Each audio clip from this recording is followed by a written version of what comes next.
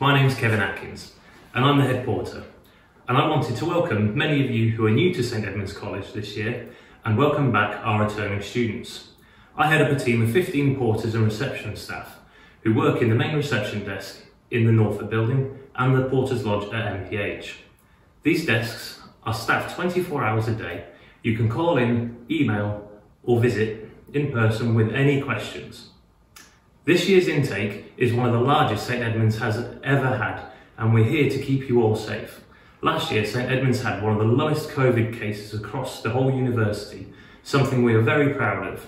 But it wouldn't have happened without the community of students, fellows and staff at St Edmunds working together to keep each other safe, respecting each other and keeping themselves informed about the latest college and government guidance the COVID information webpage tells you about arrangements and guidance in college for the Michaelmas term. It is linked from the college homepage.